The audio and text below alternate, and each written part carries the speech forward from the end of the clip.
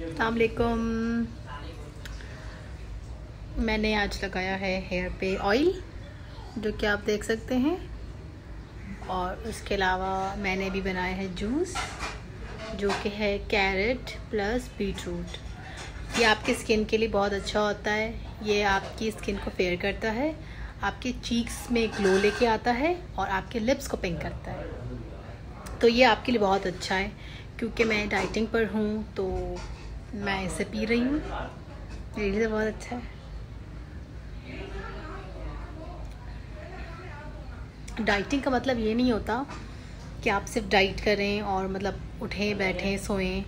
आपको घर के काम भी करने पड़ते हैं। अगर आप एक्सरसाइज नहीं करते तो आप घर के काम करें। आप जब घर के काम करेंगे तो उससे आपकी बॉडी मूव होगी और मेरी बहन मेरी वीडियो बना रही है।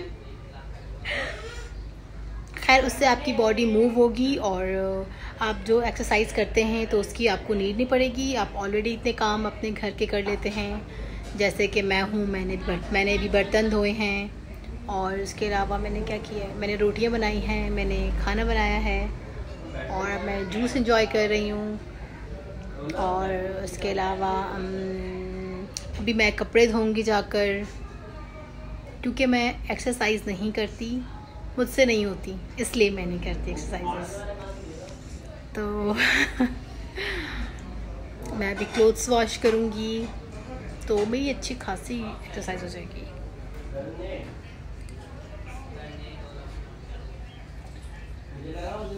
ब्रेकफास्ट में मैंने थ्री बॉयल एग खाए थे, उसके बाद मैंने एप्पल खाया, उसके बाद मैंने ग्रीन टी ली, और अब मैं ये पी रही हूँ। जो कि बहुत मज़े का है।